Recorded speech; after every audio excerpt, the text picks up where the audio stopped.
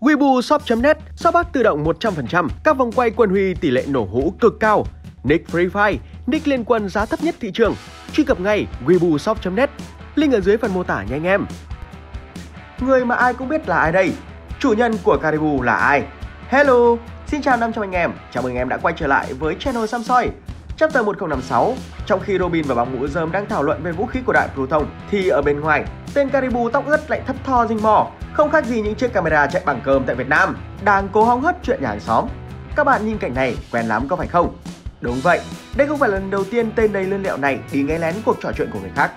Tại chấp 650, Robin đang xác thực với vua Neptune về việc công chúa Sirahoshi có phải chính là vũ khí của đại Poseidon hay không. Caribou đã hóa thân thành bãi bùn đù trên lan can để nghe trộm toàn bộ cuộc nói chuyện.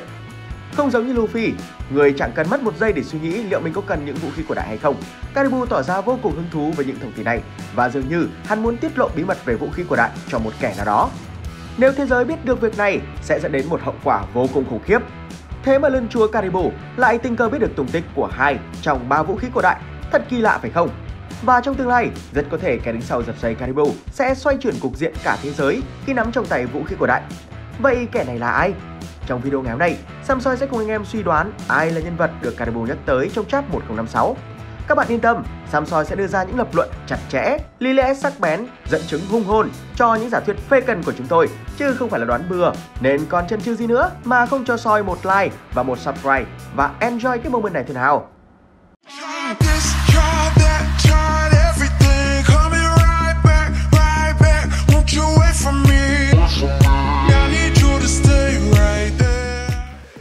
1. Gợi ý của bác Oda về kẻ đứng sau Caribou Dựa vào những gì đã xảy ra, có thể khẳng định người Caribou muốn báo tên có đầy đủ những yếu tố sau. 1. Kẻ có hứng thú với vũ khí cổ đại Các thế lực trên khắp thế giới, từ chính quyền cho đến hải tặc, đều thèm khát sức mạnh của nó. Đây là lời nhận xét của vua Neptune dành cho vũ khí cổ đại. Chưa biết mục tiêu của những kẻ đứng sau Caribou là gì, hay hắn thuộc phe phái nào, nhưng có thể khẳng định đây là một người rất có tham vọng với vũ khí cổ đại và hiểu biết ít nhiều về chúng. Bởi trong hai lần Caribou nghe lỏm được thông tin về vũ khí của đại, hắn đặc biệt bày tỏ ra vô cùng hào hứng và muốn nhanh chóng truyền tin để ghi điểm trong mắt nhân vật bí ẩn. Caribou tóc ướt thậm chí còn hưng phấn tới mức cả gan bắt cóc Poseidon, công chúa Sirahoshi ngay trước mũi các thành viên bằng mũ dâm Idol giới trẻ Chủ nhân của Caribou được nhắc đến lần đầu tiên với danh xưng là kẻ ai cũng biết là ai đấy. Nhưng cụm từ này chỉ dành cho những người vô cùng nổi tiếng, người người nhà nhà, không ai là không biết.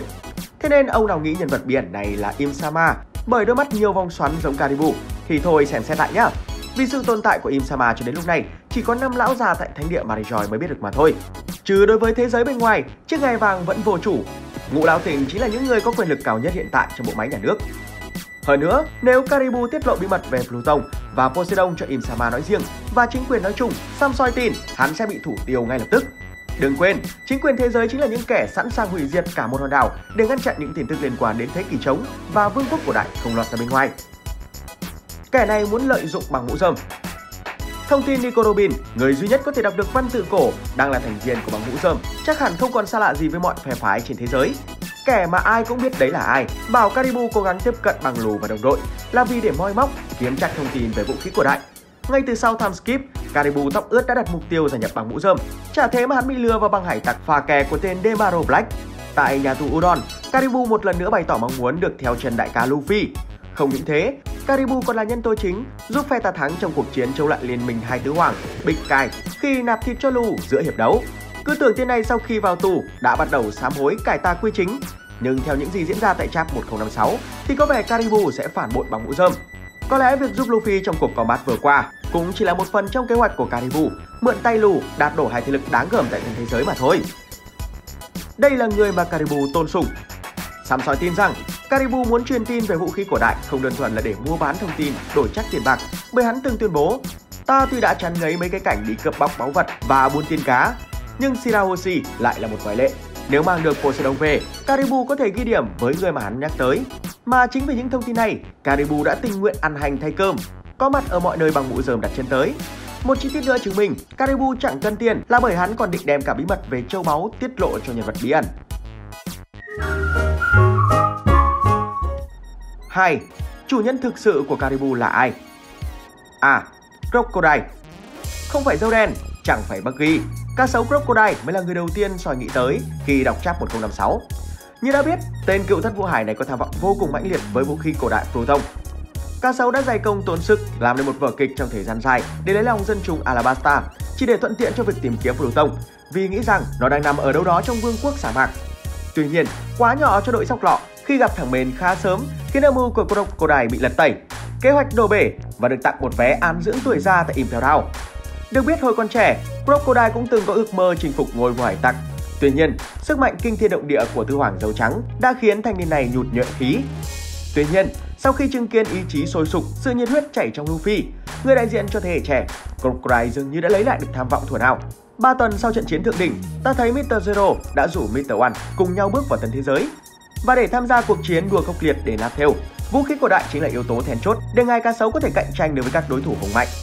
Bên cạnh đó, Crocodile cũng hiểu rất rõ khả năng của Robin, nên việc gai Caribou vào bằng mũ rơm cũng vô cùng khớp với tính cách mưu mô và cái đầu có sỏi của cựu thân vụ hải này.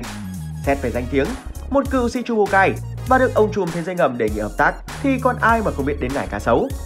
Tóm lại, Crocodile thỏa mãn hết mọi tiêu chí của kẻ mà ai cũng biết là ai đây. Nhưng bằng cách nào, Caribou và Crocodile lại quen biết. Bằng haki quan sát thấu thị tương lai của mình, Soi sẽ cho anh em lời giải đáp ngay sau đây. Caribou chính là Mr. Ten, partner của Tuesday trong tổ chức Baroque Work. Đây là nhân vật mới chỉ được nhắc tới qua lời công chúa Alabasta, nhưng chưa hề lộ diện trong mạch truyện. Tuy nhiên, Oda đã cho chúng ta chiêm ngưỡng vẻ ngoài của Mr. Ten trong một khung tranh tại One Piece Color Work Volume 2. Mái tóc dài rối, đôi mắt rán xào thân hình gầy gò, khuôn miệng rộng, trông như anh em cùng cha không nội với Caribou tóc ướt. Rất có thể, Mr. Ten chính là phiên bản trước time skip của Caribou trắng Oda chẳng bao giờ để trong mạch truyện có chi tiết thừa hay nhân vật thừa. Việc Mr. Ten rất có thể là một trong những thành viên tiếp tục cùng Crocodile tiến vào tân thế giới. Điều này cũng giải thích cho việc Caribou tôn trọng và muốn được cá sấu công nhận. Theo lời Vivi giải thích với bằng mũi rơm về bộ máy tổ chức Baroque từ Mr. Six trở xuống được gọi là các đặc vụ khai thác. Công việc của họ là gom tài sản cho tổ chức. Anh em thấy gì không? Hoàn toàn trung khớp với Caribou, chính là kẻ chuyên đi moi tim và cũng muốn dâng kho báu cho chủ nhân của mình. Mình sẽ đem bí mật về tiền cá và cả núi châu báu cho người ấy. Caribou xét. Thêm một chi tiết nho nhỏ, phải chăng biểu tượng chữ X ở mặt chiếc áo của Caribou chính là một gợi ý cho tên nguyên liệu này có liên quan gì tới vị trí của tên này trong tổ chức. Cụ thể là số 10 nhỉ? B. Dầu đen Mà nhắc tới con số 10 phong thủy, không thể không nhắc đến bằng dầu đen. 10 kẻ dưới trướng của Marsaditit được gọi là 10 đội trưởng Titanic. 9 trong số 10 người này đã được debut, chỉ còn kẻ thứ 10 vẫn là một ẩn số. Tuy rằng Caribou không quá mạnh, nhưng hắn có rất nhiều điểm chung với Tip, đó là sự mưu mẹo, gian xảo, làm mọi cách để đạt được mục đích của mình. Và đặc biệt là vô cùng phù hợp với vai trò Nam Vùng. Đây cũng là việc mà thằng dâu đen đã làm mấy chục năm trong bằng hải tặc bố già dâu trắng để chờ đợi ngay trở mình khi lấy được thứ mà hắn mong muốn. Lý do khiến tớ cho rằng Caribou là gián điệp của băng dâu đen là bởi Wano chính là sân khấu quy tụ các diễn viên nằm vùng hạng A thay nhau phổ chỉnh diễn xuất. Nào là Kanjuro, Apu, Denjiro, X-Rex, từ hải tặc cho tới hải quân, từ chính quyền cho đến quân nổi loạn, phe nào cũng gài người mình vào thế lực khác. Nên sẽ chẳng có gì ngạc nhiên khi Caribou mang trọng trách truyền tin từ Wano đến băng dâu đen. Trước đó tại đảo người cá, khi Caribou nhắc đến kẻ mà ai cũng biết là ai đấy, cũng là lúc Jinbei nói về dâu đen đã trở thành tứ hoàng sau khi truy quét tàn dư bằng hải tặc dâu trắng và chiếm lãnh thổ của bố già. Trong chap 956, tình cờ khi gián điệp hai mang Earthquake đang nói về liên minh hai tứ hoàng Big Kai với Kobe qua Denden Musi, thì ở một khung cảnh khác, Jordan dường như vừa nhận ra tin tức gì đó bật cười và ngay tức khắc đang ra lệnh cho các đàn em đóng gói đồ đạc rời khỏi hòn đảo hải tặc B2 để lấy một thứ đồ quan trọng có quá nhiều thứ trùng hợp và tình cờ. Giả thuyết đặt ra khi ấy là Tít muốn tranh thử đến đảo bánh hôi của lúc ba gia Big Mom vắng nhà, tiện tay cầm nhầm tấm hồng phiến. Và một dự đoán vô cùng phổ biến khác là hắn đang tiến đến Guano, nhân tình thế hỗn loạn đoạt clip của Kaido. Theo như cập nhật mới nhất của Mini Story, trận chiến diễn ra tại Whole Cake không phải giữa băng Big Mom với băng dầu đen, mà là với nhà Vinsmoke cùng Caesar. Điều này đồng nghĩa với việc nơi dầu đen ngắm tới không phải đảo bánh mà khả năng cao là Wano. Vậy kẻ nào tiết lộ tình hình ở Wano cho dầu đen? Caribou chứ còn ai nữa. Như đã nói ở trên, việc Caribou giúp phe nổi loạn như lấy chìa khóa cho Kawamatsu, bàn kế hoạch với Luffy hay nạp lần đầu tiếp tế thịt cho Lu. Dường như là để đảm bảo rằng một cuộc chiến quy mô lớn chắc chắn sẽ xảy ra tại Wano Quốc. Và cho dù Vân Thắng thuộc về phe nào thì băng rêu đen đều đứng ở vị trí người ông đắc lợi. Một lý do nữa cho việc người Caribou tiết lộ về tung tích Pluton chính là dâu đen bởi sự hợp lý cho phát triển mạch truyện. Hãy tưởng tượng, dâu đen, kẻ được coi là chùm cuối bộ truyện, hay chỉ ít băng hải tặc cuối cùng mà mụ dơm phải đánh bại. Tức tất cả các thành viên trong băng hải tặc tương lai đều phải bung hết sức mình cho cuộc combat tổng ở hồi kết mà thành viên của băng tất nhiên không thể thiếu Thousand Sunny, chiếc chiến thuyền đồng hành cùng Luffy và các đồng đội qua báo trận chiến mà người đóng Thousand Sunny chính là nhân vật duy nhất được tiếp xúc với bản thiết kế phổ thông trong một thời gian dài. Ý tưởng thiết kế Thousand Sunny có đến 99,99% liên quan phổ thông. Và cuộc đối đầu giữa hai băng chính là thời điểm để một vũ khí cổ đại và tàu Thousand Sunny. Thứ được kết hợp từ những gì tinh túy nhất của Frankie, của thiết kế Pluton và của công trình khoa học đã đi trước thời đại 500 năm từ tiến sĩ Vegapunk. So xem cái nào ao trình. C. Siki Tiếp đến là một huyền thoại cùng thời với vua hải tặc Roger đã quy ẩn giang hồ từ vài chục năm qua. Sư tử vàng Siki. Tại sao lại là Siki ư? Ở Wano, một khuôn mặt rất giống với Siki đã xuất hiện trong phân cảnh Muza Korozumi Higurashi đang thi triển phép biến hình nhờ trác ác quỷ Mene Mene. Trước đó, tác giả Oda cũng nói rằng một huyền thoại ngủ yên sẽ trỗi dậy. Phải chăng đây là sự chuẩn bị cho màn comeback của Siki? Thời điểm hiện tại cũng trễ hơn 2 năm so với dự tính tái xuất của Siki khi tự cắt chân, đau tàu khỏi trốn ngục tù. Sư tử vàng đã quay sang hỏi tiến sĩ Indigo là kế hoạch quán cần bao nhiêu thời gian để thực hiện và câu trả lời Siki nhận được là 20 năm. Không giống như những phản diện tại movie, Siki được Oda lên sóng ngay trong mạch truyện. Chuyện là trong một lần hít hà đu đủ khoảng 2 năm trước, khi băng hải tặc Roger tìm thấy kho báu One Piece, Siki đã mời gọi Goldie Roger trở thành cánh tay phải của mình. Siki said, nếu như bạn không chê, thì vũ khí cổ đại mà bạn nắm giữ cùng binh lực và kế hoạch hoàn hảo của ta sẽ giúp chúng ta thống trị thế giới ngày bây giờ. Thế nhưng Roger rep chê. Vậy là một trận đại chiến xảy ra giữa băng Roger và Siki. Qua những sự kiện tại Chapter 0, có thể thấy tham vọng thống trị thế giới của Siki vẫn luôn tồn tại và để làm được điều đó, hắn cần có vũ khí cổ đại. Có lẽ bằng một cách nào đó, băng sư tử vàng biết về lời tiên tri của Madame Sully ở đảo người cá, do đó chúng đã lựa chọn khoảng thời gian tầm 20 năm chờ ngay trở lại dù vậy thì làm thế nào để một tên như Caribou quen được Siki vẫn là một dấu hỏi lớn. D. Bucky Có Siki thì hẳn không thể thiếu tứ hệ Bucky, người đã dùng haki gió vương hô phòng hoán vũ, nhấn chìm phân nửa hạm đội của Siki, khiến sư tử vàng mang nỗi ám ảnh về những cơn bão đến tận bây giờ. Xét về danh tiếng, của cải, tiền bạc hay được người khác tôn sùng, tứ hệ Bucky đều đủ cả.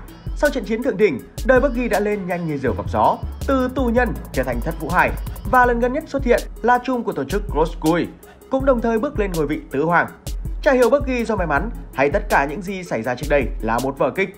Dù không đam mê ngôi vị vua hải tặc, nhưng Bucky đã mong muốn đoạt được kho báu One Piece kể từ khi còn trên tàu vua hải tặc.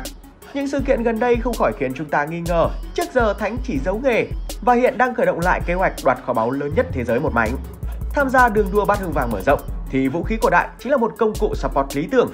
Xét về tính cách, Bucky cùng Karibu khá giống nhau, đều giang hổ mõm và lươn lẹo, pha thêm chút tấu hài, ăn tàn phá hại. Hình xương chéo trên áo Karibu khá giống vết tha thù trên trán của đại đế Bucky. Ngoài ra Karibu được xây dựng như một nhân vật theo đạo Thiên Chúa, khi thường xuyên thốt lên những câu như Chúa ơi và lệnh Chúa. Trong khi đó Crosscui của Bucky thành lập dịch ra tiếng Việt có nghĩa là băng đảng thánh giá. Mà thật ra đối với lũ đệ lâu nhâu được thu nhận tại Imperial thì Bucky cũng tỏa ánh hào quang như một vị chúa vậy. Và đối với độc giả, Bucky cũng chẳng khác nào một vị chúa, cơ mà là chúa hề. Một số nhân vật khác cũng có tiềm năng là người mưu lực đứng sau giật dây Karibu như Akainu hay Dragon bởi một số hình trong mini story về Karibu. Hắn từng bị lầm tưởng là nhà cách mạng Gaburu do ngoại hình quá giống nhau.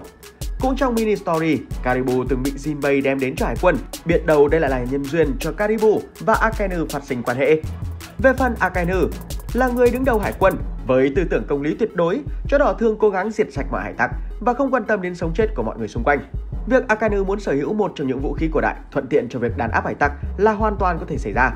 Trong chap 1054, Thủy sư Đô đốc đã gọi đây là một kỷ nguyên điên rồ và tuyên bố đánh hải tặc trên toàn bộ trận tuyến. Tóm lại, Samson cho rằng Crocodile hoặc Tit chính là kẻ mà Karibu nhắc tới, sau đó đến Buggy. Còn các nhân vật còn lại như Siki, Akainu hay Dragon cũng có khả năng là kẻ mà ai cũng biết là ai đấy, nhưng tỷ lệ là khá thấp. Còn các bạn, các bạn nghĩ thế lực đứng sau tên lươn lẹo là ai? Hãy comment bên dưới cho Sam soi biết với nhá Giờ thì đến với chuyên mục SBS. Bạn hỏi, giáo sư soi trả lời thế nào? Quan quan Anh ơi, nếu Kaido không phải một cần chín cửu hồng bao, team Luffy và Yamato liên tục, thì Lu ở dạng Nika có đánh được không ạ? Theo anh, nếu Kaido không bị vã hội đồng, thì Luffy chưa kịp thức tỉnh Nika đã hoảng sâu rồi. Mà ở thời điểm hiện tại, Nếu Lu trong trạng thái Nika mà solo 1-1 thằng Kaido thì phát triển sức mạnh cho đối thủ tương lai của Lu sẽ khá khó vì Lu đã quá bá nhỉ. Đức Lò Anh Sam Soi ơi, Luffy có thể đánh được ba đô đốc hay không anh? Chưa nha. Nhiều anh em hơi đánh giá thấp sức mạnh của hải quân quá. Tại Marineford, ba vị đô đốc đã gây khó khăn cho bằng dâu trắng đến thế nào là điều ai cũng thấy. Đương nhiên, bố già chịu ảnh hưởng bởi tuổi già, nhưng sức mạnh của ông vẫn kinh khủng và là thứ khiến Big Kai phải e dè. Anh nghĩ đô đốc chỉ tranh trình một tứ hoàng xíu thôi, nên lù khó mà một cân ba nhá. Nếu như hải quân yếu ở nảy tặc nhiều thế, thì tứ hoàng đã dẹp luôn cái tổng bộ thôi.